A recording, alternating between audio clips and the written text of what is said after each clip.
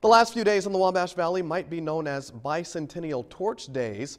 The torch is traveling across the state to honor Indiana's 200th anniversary of statehood.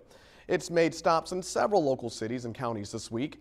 In Parke County, torch runners and walkers celebrated not only Indiana's birthday, but also the 10-year birthday for the rebuilt Bridgeton Covered Bridge. An arsonist burned the bridge down in 2005. The new bridge opened in its place in 2006. The State Bicentennial Committee called the bridge a fitting final stop in Parke County. The county is considered the covered bridge capital of the world. In Putnam County, Drew Christie was honored to be a torchbearer. Drew suffered traumatic injuries from a car crash in 2008. We featured him in several stories here on News 10. To see photos of Drew's turn with the torch, check out WTHITV.com.